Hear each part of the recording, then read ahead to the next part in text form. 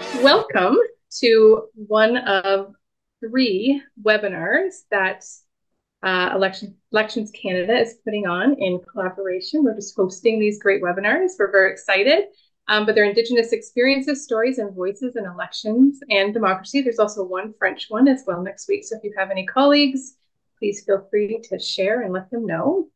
Um, just to get us started, I'm just going to just briefly talk about who we are, and then I'll turn it over to um, Melissa. But we're um, OHASSTA ASO.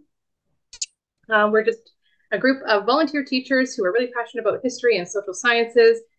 Um, we volunteer our time to try and connect with teachers across the province, to act as a voice between teachers and organizations and even the Ministry of Education.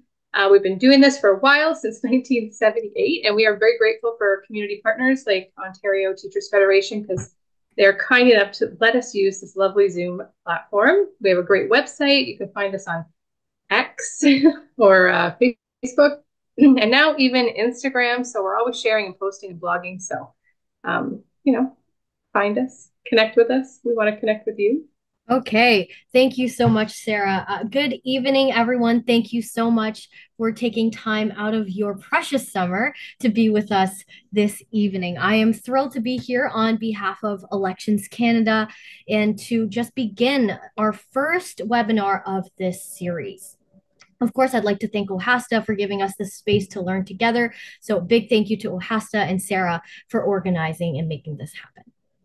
So, our topic today is Indigenous experiences and stories. And, and, this topic did not come out of nowhere. In fact, it came from all of you. It came from an increasing demand from teachers to learn about Indigenous experiences and stories, especially with uh, the new course, the NBE course, as we are all aware, as well as changes in the curriculum. And of course, this work is so important in, in this this journey of truth and reconciliation that we are on. So I'm very excited for this series, and I hope you are too. With that, I, am just going to dive right in and begin with an agenda so we know what is uh, very excitingly coming our way in the coming hour.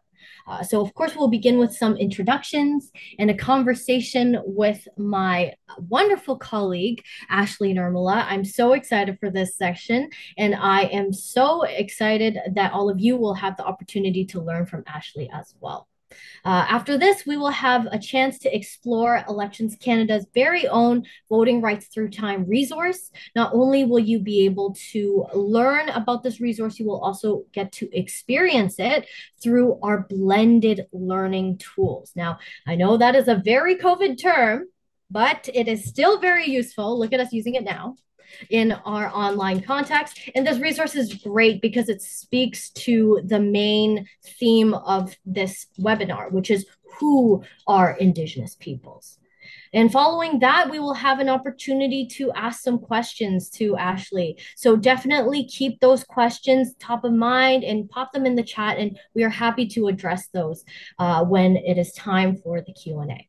All right, you guys excited? I know I am. All right, so let's go ahead with uh, and begin this with land acknowledgement. And uh, where I am, uh, of course, we are OHASSTA, but Ontario is so big. So I am here in uh, city of Markham, and it is the traditional territory of five Indigenous communities, including the Haudenosaunee, the Wendat, the Anishinaabe, the Mississaugas of the Credit First Nation, as well as the Mississaugas. And this land is part of the Williams Treaty of 1923. I'd like to point uh, your attention to the right of the screen. You will see uh, a map of the territories that I just mentioned. This is an excellent resource, one that I've used with my class uh, as well to visualize and conceptualize what exactly we're talking about in the land acknowledgement. So I do encourage you to check out this resource. Uh, you could just uh, copy the link if you're able to in the PowerPoint and you are able to find your own location and see uh, which territory, traditional lands you are on as well. Uh, I want to take a moment to introduce my wonderful colleague, Ashley. I've had the opportunity to work with her and learn from her over the past few months. And can I just say, she never fails to make us laugh and teach us something new. And that's not even included in her bio yet. So, uh, Ashley is the Indigenous Education Coordinator for Elections Canada in Northwestern Ontario. Based in Nipigon, Ontario, Ashley Nurmela is a member of the Red Rock Indian Band. Previously, Ashley worked as the First Nations, Métis, and Inuit community liaison for Lakehead District School Board, and she is known for her collaborative nature and her dedication to her community. So that's Ashley for you. Now, before I dive into this conversation, I just want to frame our conversation with uh, the main question and remind ourselves that the, the question we are seeking to answer today, and we will not be able to answer it entirely because it's such a big question, but it's who are Indigenous peoples? Uh, now, this will act as a context and a great foundation for our subsequent sessions to build off of. So definitely look forward to that in the coming weeks. Uh, but with that, I'm very excited to begin our conversation. Let me just stop sharing my screen here. Uh, with Ashley. So Ashley, I'm just I want to know what is what is it that you do at Elections Canada and why is this work important to you? Hi. So, first of all, thanks for having me. I'm super excited to be here with all of you. Um, as Melissa said, I do work out of Nipigon, Ontario, um, which is the Robinson Superior Treaty Area. That is also my treaty area. Um, but today I come to you from Thunder Bay, which is more of the Fort William First Nation Treaty Area. Um, I'm double booked, so we're here and I'm excited. And if you're wondering why the sun is beaming on me, it's it's because I'm magical like that. But no, just kidding. It's because my vehicle is facing facing the um the sun and it's it's quite beautiful. I'm happy to be here. So I the kind of work that I do is I take our education resources and I go into schools and First Nations and communities and I look to build relationships, educate students and teachers um, and assist in their classrooms with all of these things and the big questions that come with this stuff, right? Like the whys, the hows, the the when did that change, all of that stuff. And so that's what I do in in the context of my position right now, and I really love it. Thank you. You and she, you know what, guys? She's absolutely right. She is magical. She she denied it, but she is magical. Uh, but thank you so much for sharing a little bit about your work, Ashley. And as you know, today our conversation is about understanding the foundations. So I want to start with the question of terminology. Yeah. We know this this uh, title is called Indigenous Stories and Experiences, but uh, so we encounter this word Indigenous a lot. And how is that different from First Nations? And there's also words that we no longer use in our context today. It feels like a lot. So help me unpack that. Yeah. So, and you'll notice this a lot in your school boards too. Um, so for instance, you'll see, you know, um, you'll pull out an old document or policy in your board and it'll say native, or you'll pull out something um, from a government website and it'll say Indian. And then a different website, like say from ONWA or the Thunder or like the Indigenous Friendship Center, uh, they'll they'll have different terms. And so the reason for that is um, we still use Indian because it's in law. It's in the Indian Act. In fact, my status card says it's a certificate of secured Indian status.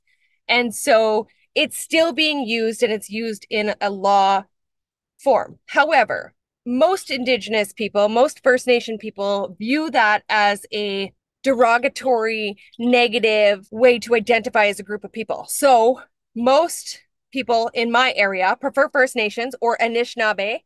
Um, and of course indigenous is like the way of umbrella. It's the umbrella that holds first nation métis and inuit inside it all. And so you'll often you know maybe wonder well yeah but isn't that aboriginal? Yes. However so aboriginal took place took the place of native. Aboriginal was was bestowed upon us by the powers that be.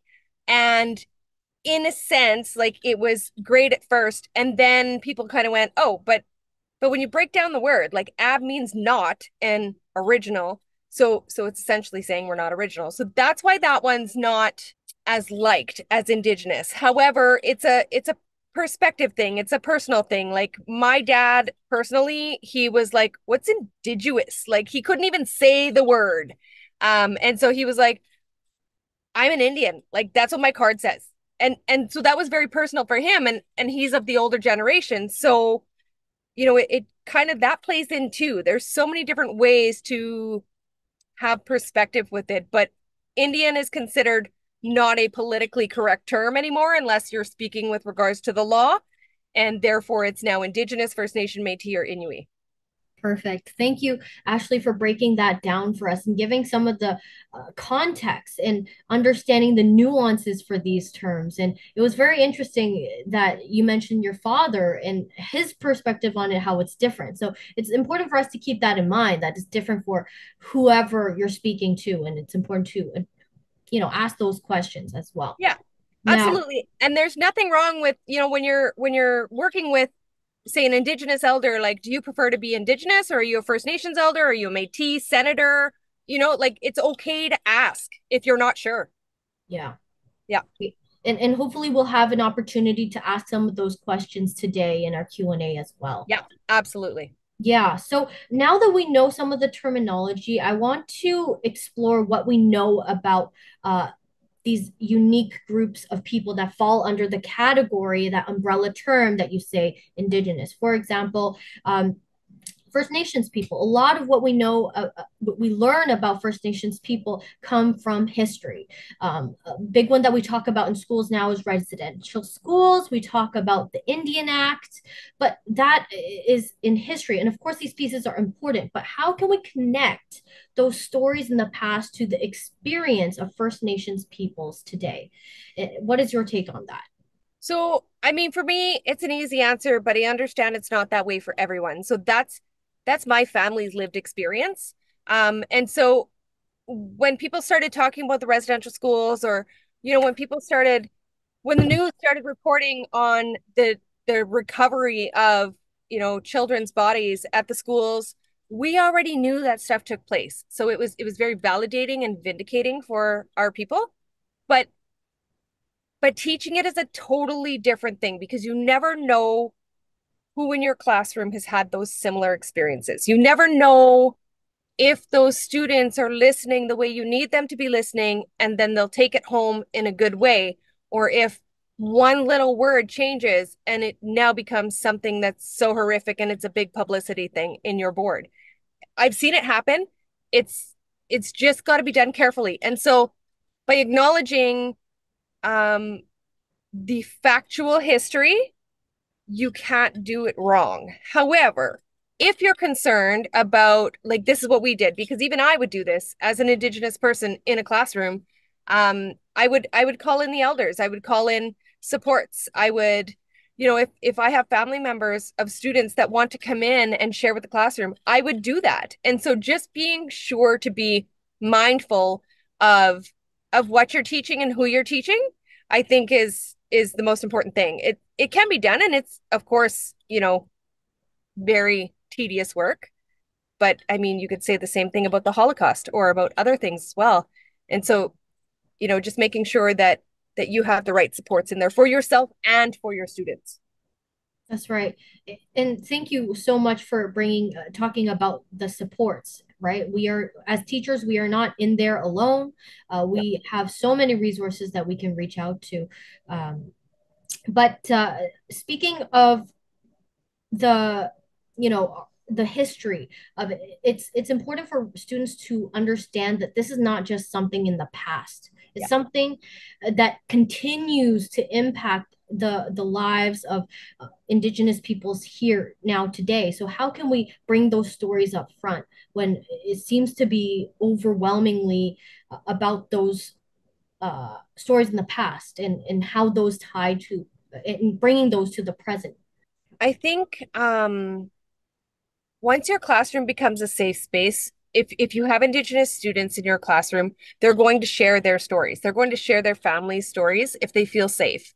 Um, if they don't and you want to share things like that call the friendship center. Call call ONWA call the closest first nation to you. There's usually programming that takes place. And and they also have cultural pro- programming in their education departments that helps connect your curriculum to mm. the culture.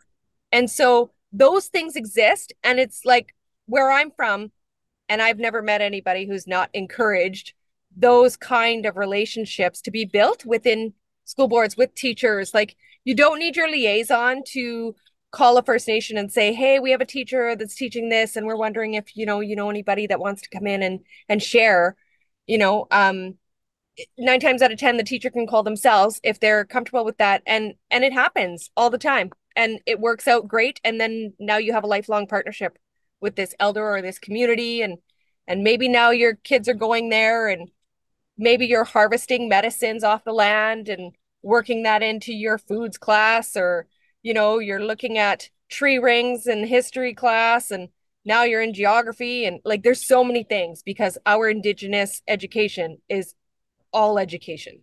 I love that. I love that. So and you mentioned the friendship centers you mentioned talking to elders. Do you have any other resources that you can point us to so that we can learn more?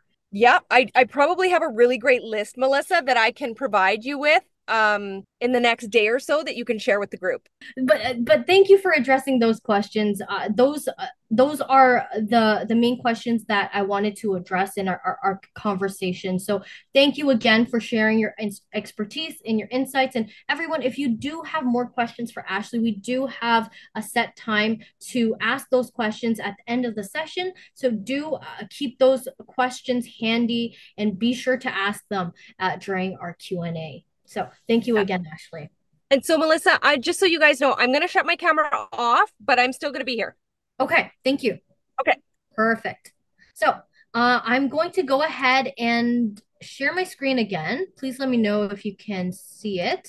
Speaking of resources that Ashley mentioned, she she mentioned reaching out to uh, friendship centers. She talked about reaching out to elders and uh, different there's so many different resources out there that we can access and now i just want to take some time to share with you another resource that is great for learning about the history and lived experience of Indigenous peoples in Canada.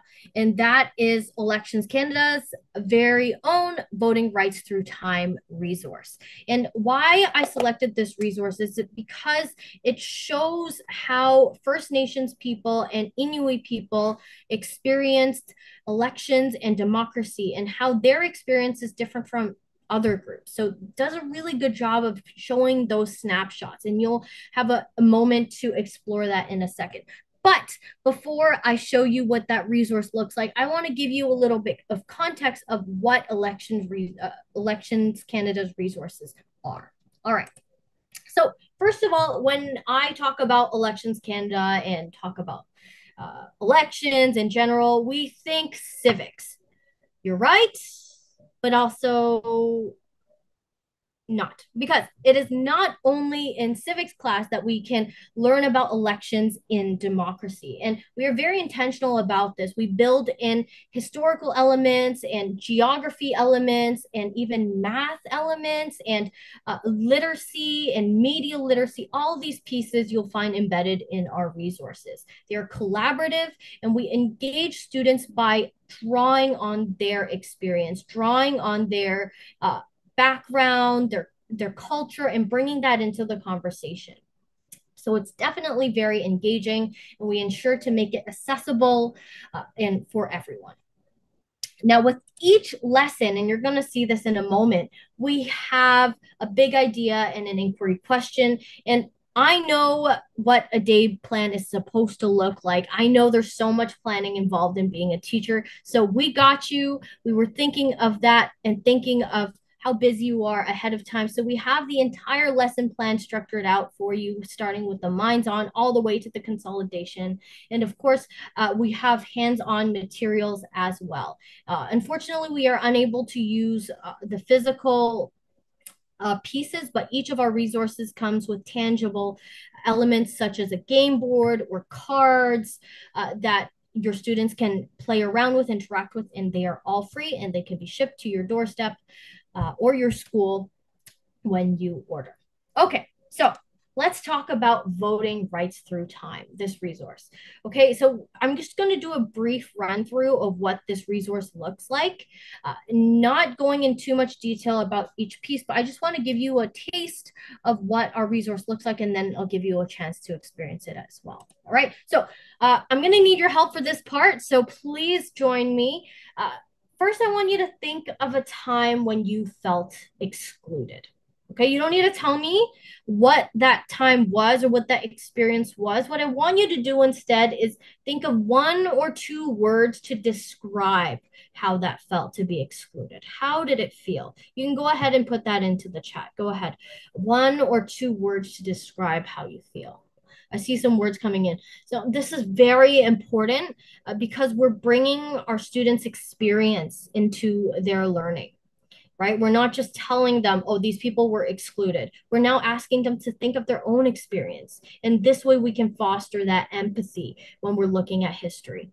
Next, I'm going to ask you to do the same for uh, the feeling of inclusion. Again, think of a time where you felt included and, and use one or two words to describe that feeling. One or two words. How does it feel to be included?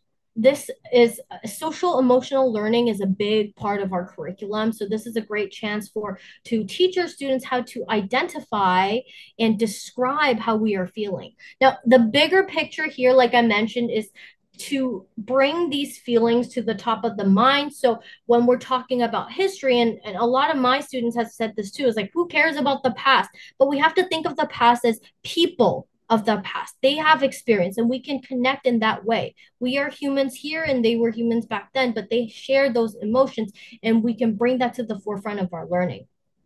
Comfortable, I see. Beautiful.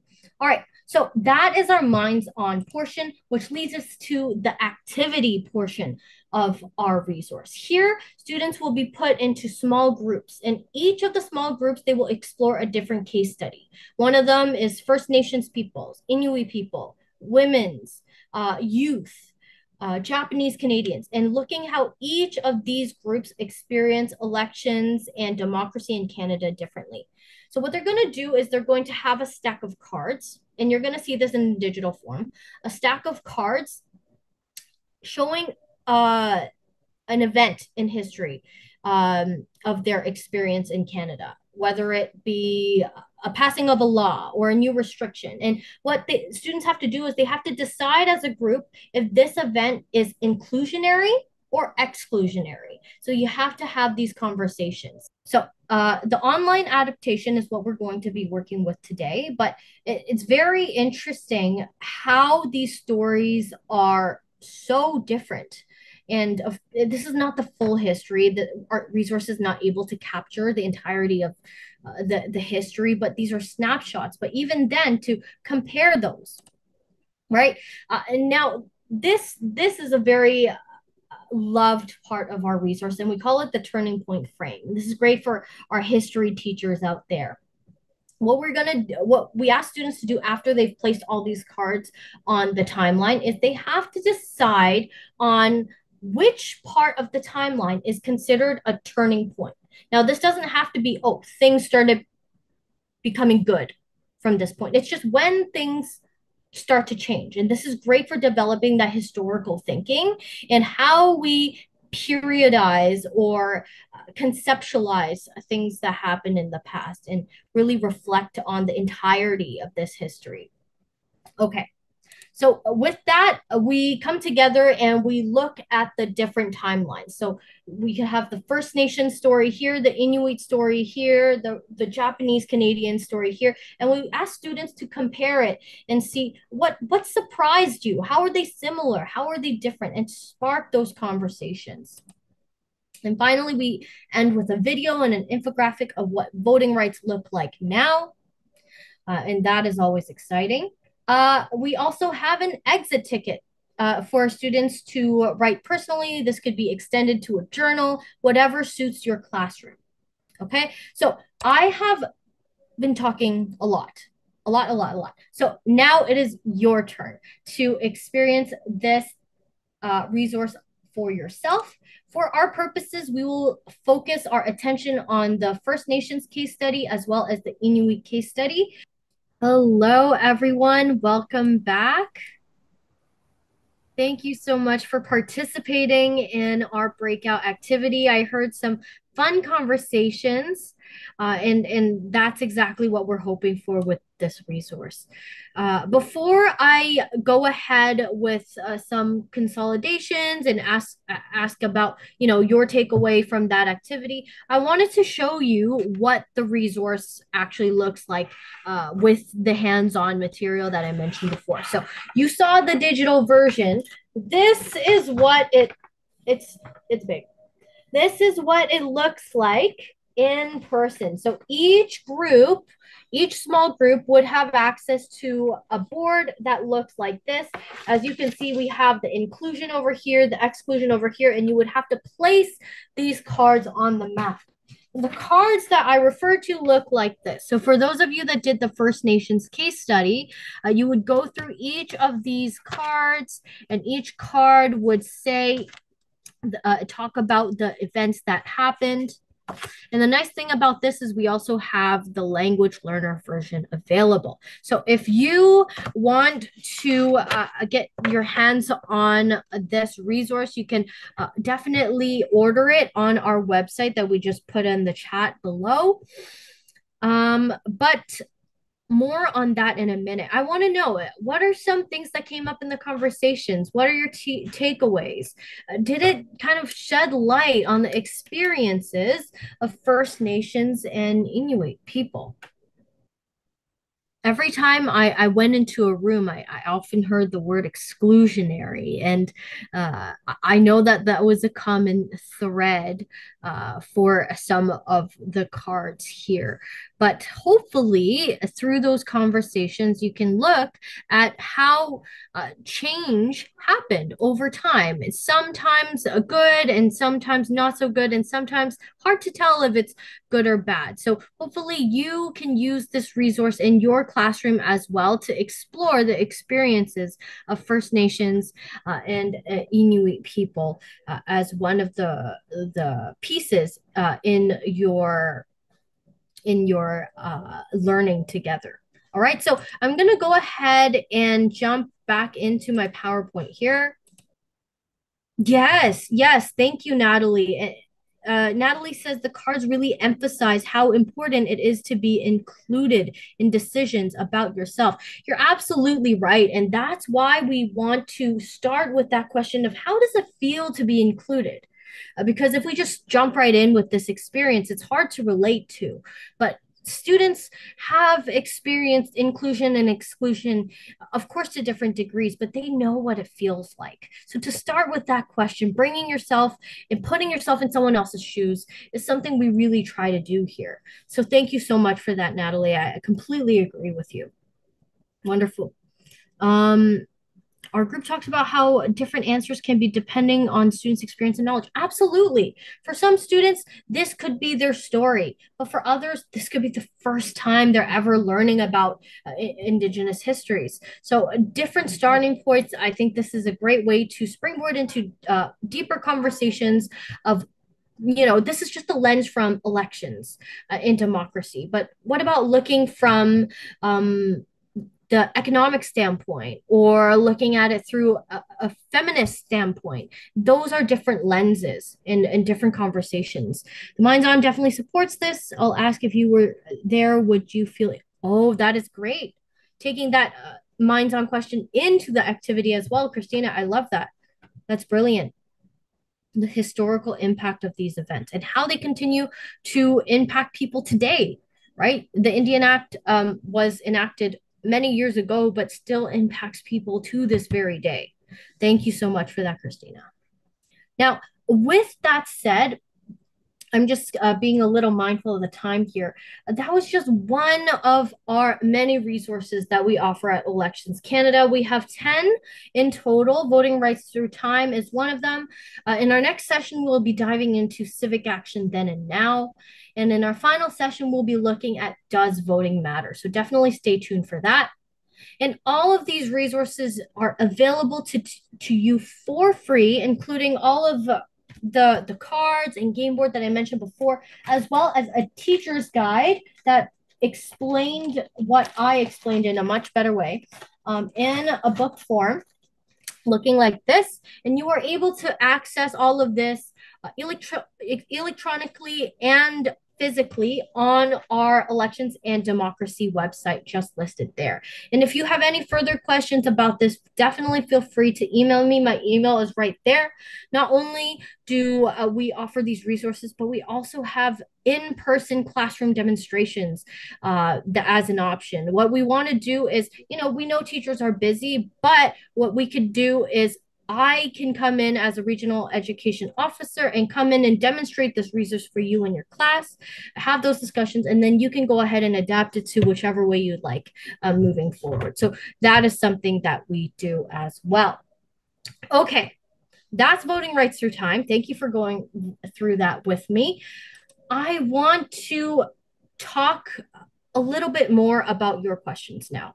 Uh, we talked about so many things today. We talked about terminology. We talked about how history connects to uh, lived experience today. We had a chance to look at voting rights through time. Uh, and so now you have an opportunity to ask some questions. So please feel free if you have any questions, any comments, to please uh, either turn on your mic uh, have a conversation with us, or you can uh, definitely put your questions in the chat as well. We will keep an eye on that.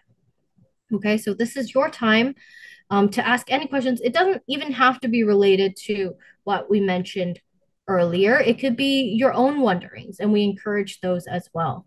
Okay, I, I see Toby has uh, says, would you do a virtual presentation like this to teacher candidates in Absolutely. I've I've done a presentation like this to my old uh, Bachelor of Education program uh, at Tyndale University, uh, but a virtual option is definitely possible. So not only is it classroom demonstration, but schools as well. I see uh, Tassim, you have your hand up. Sure. Thank you so much, Melissa, um, for helping us do the demonstration on this.